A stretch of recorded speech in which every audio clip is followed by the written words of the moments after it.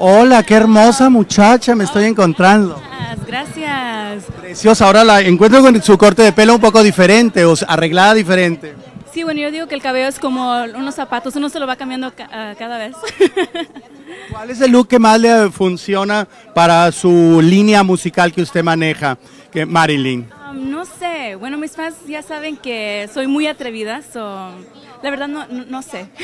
Y ante todo el público cachanilla que lo está viendo, ¿a qué se atrevería, por, por ejemplo, una de estas noches calientes de Mexicali? ¿Qué, qué me atrevería? No sé. La carretera, ¿hacer alguna cosa bonita e interesante en la carretera? Sí, un concierto, así plena. Un co-